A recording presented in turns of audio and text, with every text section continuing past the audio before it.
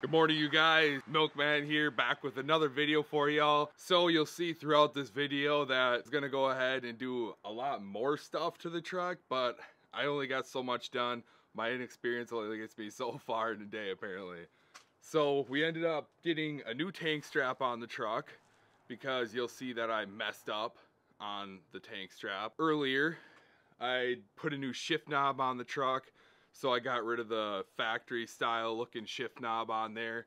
And I also put new glitter um, air brake handles on there, or air brake knobs. And then we got the oil changed up and I went through and greased the whole truck up. So make sure you guys watch through the video. As you can see, I got my milkman hat on.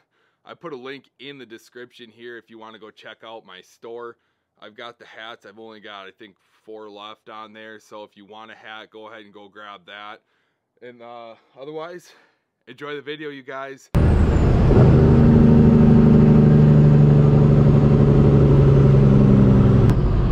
Good morning, everybody. We are loaded up in the truck here with the parts that we've got. We're gonna head over to the shop. I gotta get the oil changed and we're gonna try and put some parts on you guys saw in my live stream there, I got new uh, brake brake uh, knobs. I got a new shifter knob, and I'm gonna see what I can do about getting my uh, side panels on the cab and the bunk. So we'll see you guys here a little bit. All right, you guys, so we made it here to the shop. I'm gonna drop the bumper down here and then we're gonna get the oil draining out and then I'll work on getting the other stuff done. I'm gonna put those new brake knobs on. I'm gonna put my new shifter on there or my shifter ball and then try to get that dash wrapped in the white. Hopefully get the um, cabin uh, sleeper panels on and then I'll also show you, as you can see here, I messed up my tank, unsurprisingly. Now, when I originally, because this one had broken off of here while I was going down the interstate one time, and I saw my mirror, the tank was hanging, I was like, no way. So anyways, I had to put a new strap on here, and I ended up over torquing this one, so it stripped the knot out, but I also, I did not know that there was glue on one side, or I did know or whatever, and I put that towards the tank. In reality, that's supposed to go around here so it sticks to this strap. So I got a new strap yesterday and I got a new webbing thing, I think it's called. We've got a new, we've got new bushings for this here because that's uh, bad. I got a new electrical mount here and what I'm gonna do is I'm gonna move this back so I have more hose back towards the trailer and it stops doing this and I stop wrecking the trailer electrical boxes when I'm turning and stuff. So also on here, you'll see I got a new one of these because the it just looks looks not good you guys. It's definitely wore out. So I'm gonna replace that on there. Pretty much today I'm sure it's gonna take up all my time. So we're gonna get to work here enjoy the video. If you guys enjoy this kind of content, make sure that you hit that subscribe button. Go back, watch some of my other videos uh, after this one's done. All right, guys, so if you can see on there, that's the nut we got to get out of there. And then we're going to drain it into here. And then, unfortunately, what ended up happening is, I'm not sure, the guy at the Peterbilt dealership gave me a fuel filter and not an oil filter. I wasn't paying attention when I walked out the door there with it. And uh, so now I'm gonna have to reuse the oil filter I have, at least for now. So it is what it is. We're gonna get this thing off here and then we're gonna drain it out and then get started on the rest of the project. As now we're gonna go ahead and get our oil filter off here so we can drain it out and then unfortunately reuse it again for a minute until I stop and it becomes a weekday and I can actually get a another oil filter instead of a fuel filter. That's pretty disappointing, I have to say. Yeah, these things are nice and heavy too. There we go. All right. So now we'll just dump this into there. And I might actually just try to set it up on this thing here. Oh, actually, I'm gonna get a couple boards and lay them across there. All right. Grab a couple of these here.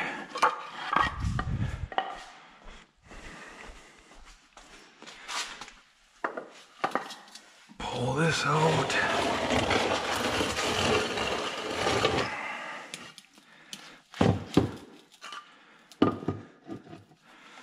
Like that. Just make sure, let that sit there and drain. I'm gonna grab one more bucket for that there. And then we will continue on. All right, so I went around and greased up the truck, got all the, all the, all the stuff up here greased up. I went through and greased the uh, drive line. And now should be plenty drained out of here. And the pan should be plenty drained out. I'm gonna go ahead and throw that plug back in there and then hopefully get this fuel or the oil temp thing changed out up in there. I don't think you can really see it, but there's an oil temp gauge. Uh, the wire is dangling right here. That's got to get fixed, but I'm gonna go ahead and throw that in there now. We ended up getting a new filter, oil filter. Dad had one sitting in here, which we didn't think he had one because there was one other time I ended up uh, forgetting to get a oil filter and he ended up not having here, but somehow uh, I guess he's got one here now. So that worked out nice because now we just got the whole new filter on there. I really didn't want to put that old one on there because that would mean I'd have to replace it pretty soon here anyways because you don't want to run an old filter like that. So now we took the fuel filter off of here. As you might be able to see a little bit right here is where it goes. And the uh, he was to run up and grab some fuel so we could throw that in the filter before we put it on there. So it's got no issues with getting air in it. This is the new one here. Like I said, the guy at Peterbilt ended up giving me, I wanted two new oil filters so I could have one sitting here, but he ended up giving me two fuel filters. So now I got four fuel filters. I got a couple sitting in the truck still and uh, this one here. So we're gonna get that done and then move on to the next project. So, all right, well, I'm not 100% sure where I left off in the last part of the video here, but we got the oil changed now. I got the truck greased up and we've changed out the fuel filter on there, which I'm pretty sure is where I left off. As you guys can see here, we got the hood all shut up. And coming around the front, we now have a license plate mounted down there. Thanks to my dad. We just put some like they're kind of like self-tapping screws almost in there. And then dad just went ahead and uh, ground the backs off because they were a little bit long and they would uh, push this out. So he ground those out there and now that looks a lot cleaner. Not having it up in the windshield and it's probably a lot more legal. so now I'm going to get this here put on, which is always a task. Last time it was, my biggest issue was trying to have the tank like mounted right so I could get the strap around and pushed up through there so I had enough thread to get the nut started on there. So we'll see how it goes this time. Also, I'll know that this will be turned around and it will be stuck on to this thing. So it's not going to be sitting here flopping around like this. So let's see how it goes. I'll check in with you guys as we're making progress. Okay, so I got a jack here. I just threw a piece of wood on the bottom so we could flatten it out, as you can see. And I'm just gonna jack the edge of the tank up a little bit. There you go. So I'll just pick it up here and then take this nut off here and then that'll drop that strap down. And then there's uh, back in there a little bolt type thing that I got to pull out of there so we can drop that strap off and get our new strap on. Okay, so for taking it off, I'm to use the Impact and uh, 19. Now to put it back on, I made the mistake in the first place of using the Impact to put it on. So I think that's how it got stripped out. but to take it off, I'm not too worried about this one, so I'm gonna it out. There. Now also I have a, a ratchet strap around the tank holding it up. So, and there's not a whole lot of fuel left in here. But I ended up getting a new nut and washer this time. When last time I was doing it, I did not have a new nut and washer, so I had to reuse the old one, which was already pretty much trash. So I'm gonna get this one, and then I gotta pop this off, and then um, we'll get the new one going on here. So as you guys can see, possibly, got my headlight on now. Um, this little piece right here, I forgot what they're called, little copper things, but you just gotta bend those down, push it out, and then this little bolt that goes through here will actually just push right out, which now I'm realizing I got my strap right there, so that might be in the way. We'll see, I might pull out from that side and push it out this way, but we'll figure it out as we go here, show you guys that. Okay you guys, so I ended up being able to uh, jack the tank up enough here with this here, and I was able to take the strap off. I just loosened it up, so now I'm gonna pop it off up here. See if the tank drops down and cuts my hand off, and then we'll just be done trucking until we can get that repaired. There we go. So now I'm just gonna push this out the other side, lose our washer, and then we'll just pull that right out, and then I'll pull it off the tank, and then we'll throw our new um,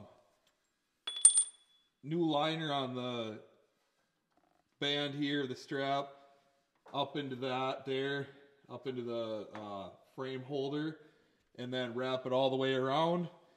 Put the piece back up in there, put the bolt through there, and then we'll work on getting the uh, bolt through the hole over there and get that tightened up. So hopefully it goes as good as uh, we want it to, but it never does. So we'll show you once we get a little bit farther along the process here. All right, so now this is the new strap.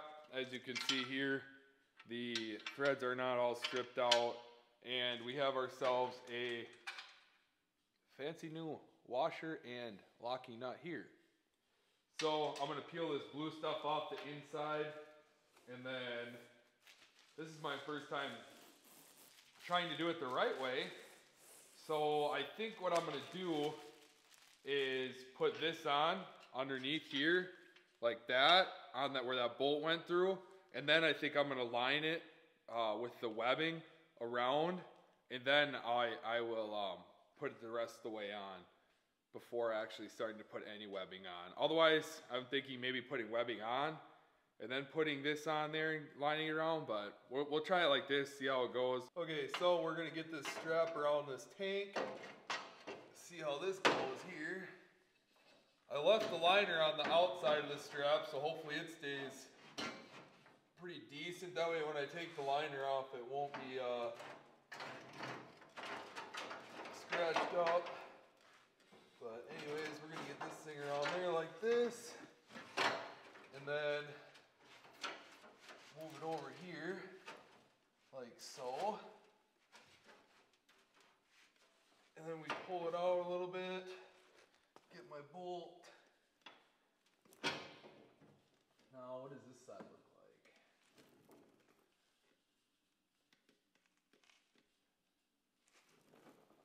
All right, well, oh, here we go. Here's the washer number one. All right, so it is a task to try to get this thing out. There we go. There. All right, and then I'm gonna throw a washer on here. I gotta grab a new cotter pin to uh, twist around there. And it looks like I need another washer because I don't have one. So I'm gonna throw a washer on, I'll throw my cotter pin on, and uh, then we'll throw our strap, our uh, webbing or whatever they call it around this, and then we'll work on getting the tank back up into its spot and tighten back in. All right, so this is where I made it now. I got the strap around from the top here, down around the tank, up to this side. Now this is what I'm not 100% sure on is when I get to this kind of stuff here. Do I just take the sticky stuff off until I get to here and then pick the tank like and then push this up and have it on there and then pick the tank up and then do the rest? Or do I just stick it around the whole thing here and then pick the, all right, I, yeah, I think what I'm gonna do is I'm just gonna unstick this to this point where the uh, frame mount for the tank is, stick it on there, pick the tank up, that way I got room and then I'll stick this to the actual tank strap there and go from there. So we'll see how it goes. So I got it peeled back down to there as you can see and then I stuck it up here onto this strap. Now I'm gonna go ahead, we'll see what this is like. There's not too much fuel in the tank. I ran it pretty low before I did this, so just want that to be nice and tight in there. There, now that shouldn't go anywhere. So, it's already working out better than last time. so now I'm gonna go ahead and get the strap wrapped the rest of the way around this and then get this pulled up to this here and then we'll work on making sure this stays aligned with the strap and then get this through and tightened up and not strip it out this time. Okay, you guys, so this is the problem I ran into last time with it. I get about this close, so the bolt about lines up right with the hole there. And then, as you can see down under here maybe, this tank strap, see how much space is underneath here? I always have a have so much trouble trying to get it back around the tank so I can get my bolt through this hole and then tighten it up. But it looks like, you know, if I jack it up a little bit, the tank gets tied up against here, which I will say, it's working out a lot better this time since I have the tape on the right side. It just seems difficult to get that part around there so we can get this up in here and tighten it down. So I just got to figure out how to get this pulled up farther and we'll go from there. Okay, well, now that I'm out of breath, as you can see, I got it through. I ended up pulling like out on the strap to get it pulled tight this way because there was so much extra on the other side. And then pulling it up and getting enough through where I could at least get it threaded on here. So now I'm just gonna grab a ratchet wrench and just work on getting that tightened up there. And hopefully we'll be good to go. So difficult as planned, but it's gonna work out a lot better now, especially the tape is on the right side and it's stayed aligned around the tank way better this time. All right, guys, well, we got it. There's actually no gap between the strap and the tank all the way around now. So I can't believe I did it. Shout out to dad for telling me that the tape actually goes towards the strap because last time, like I said, I ran it the other way. So now I'm just gonna actually cut off the rest of this here so we don't have this dangling around. And then that's gonna be a done deal. I'll peel the rest of this off here now that we're done getting it on. And that'll be nice to have that tank fixed up again. Okay, so now we've got our brake, new brake knobs here. We got the sparkling glitter. We're gonna replace these trash bags here. As you can see that I did not vinyl wrap the dash yet. We'll get to that later. It's getting late really quick. So we're just to do kind of the easy stuff now. And then we'll work on doing the other stuff later on. So I'm to change these out. And then I'm to put my white uh, white cover on here with my glitter ball up there. So we're to get working on that. And we'll show you guys progress as we go through. Alright, well we got these mounted on now took the whole dash part off just to figure out that all I had to do was unscrew them to put those on. So got that done. Then they got little screws in the side here that I just needed to use like a little, I don't know if you call those hex keys or whatever, but I tightened those in so now they don't spin back off. And my phone holder will not really work there anymore unless I put it up and my phone is tilted backwards like that, which I guess not the worst thing in the world, but it's just, we'll probably find a different spot for it. So now we're gonna work on the shifter here. I'm gonna get this pulled off, figure out what I gotta do to get that new one on with the sparkling purple. All right, well, we ended up taking this apart. I had no idea what I was doing like usual. And I took these two bolts out. And when I took the top piece off, it fell apart, fell on the floor, and basically just like exploded everywhere. So I had no idea what I was doing.